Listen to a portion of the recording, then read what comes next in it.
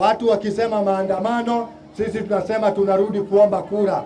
Sisi haturudi kuomba tuende maandamano, kwa sababu hatutashindana na maandamano, tutashindana na vile tutajitokeza tarehe ishirini na sita kupiga kura. Ni wangapi watajitokeza tarehe ishirini na sita? Tumwonyeshe kuwa sisi tuko tayari kuendelea kuongozwa na vijana ambaye wanafikira ya Kenya, hapana wale watu wanafikiria kuturudisha nyuma. Kama ni maandamano, wangoje siku za maandamano ambazo zilipitwa na wakati. Sawa sawa, nyinyi mnataka kupitwa na wakati ama kuletewa maendeleo? Mnataka maendeleo. Kwa hivyo nataka kuwasihi tukae kwa amani vile tumeambiwa. Tarehe ishirini na sita kutakuwa na security ya kutosha. Kwa hivyo mtu asiwatishe kuwaambia mtapiga kura. La, kura ni lazima tutapiga, kwa sababu tunajua kuamuliwa viongozi ni sisi na kura yetu.